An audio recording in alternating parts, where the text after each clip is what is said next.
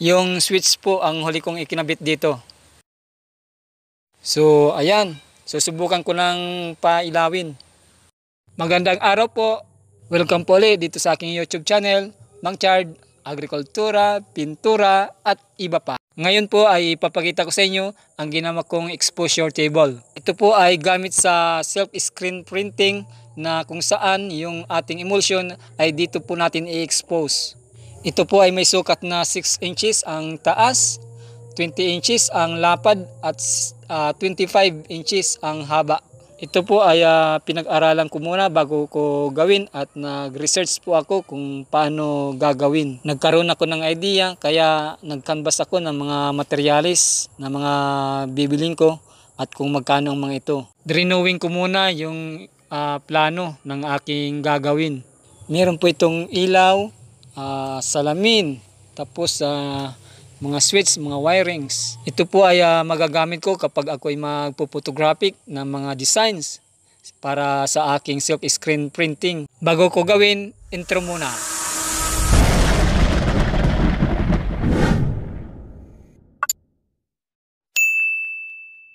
Mga materialis na gagamitin, plywood na 3 fourths ang kapal, wood glue, metro, martilyo, at 1 and a half na pako tsaka lapis. Lalagyan ko ng marka para sa pagpapakuan. Ang gagawin kong exposure table ay 6 inches ang taas, 20 inches ang lapad, 25 inches ang haba. Lalagyan ko na ng wood glue. Pagkatapos kong mabuo ay pininturahan ko na. Choco brown ang kulay na available kong pintura. Aayusin ko muna yung mga wirings ng aking ilaw. Apat na 18 watts lead light ang gamit ko. 235 pesos ang bawat isang ilaw. Kakalasin ko muna yung holder sa dulo para mailipat ko yung wire sa kabila. Sa butas nito, dito ko ilulusot yung wire para di siya maipit at uh, mahaba ang wire. Ayan, uh, ibabalik ko uli siya.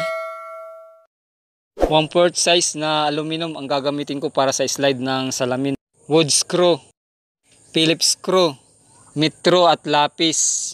Igagayad ko ng pako para sa wood screw. Kakabit ko na yung wood screw. Sunod ay ilalagay ko na yung insulation. Na-cut ko na bawat sukat. Gagamit ako ng double-sided tape para sa pagdikit ng insulation.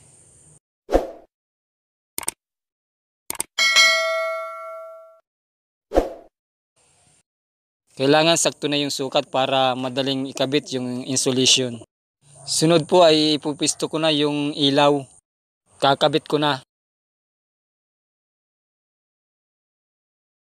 Sunod po ay ang pagwa-wirings na. Red sa red, black sa black. Ikabit ko na yung pinaka LED light. Sunod ay ang salamin na. 20 by 25 ang sukat, 1 4 ang kapal. Ito yung pinaka outlet para sa 220 volts. Ito naman yung pagkakabitan ko ng switch. Ayan, ayusin ko na yung mga linya.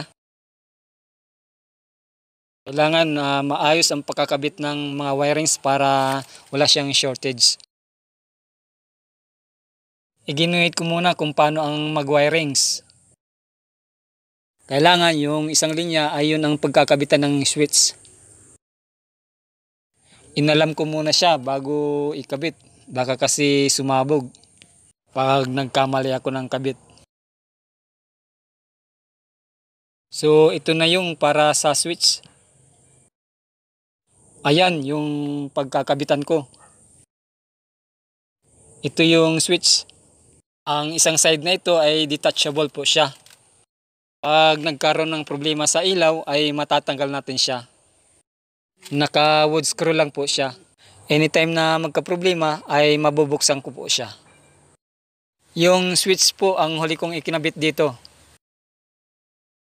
So ayan, susubukan ko ng pailawin. Okay, approve. Nag-ilaw lahat. Ayan, salamat po sa inyong panonood at ang susunod pong video ko ay ang uh, pag-try ko naman ng pag-expose ng uh, emulsion dito sa aking ginawang exposure table.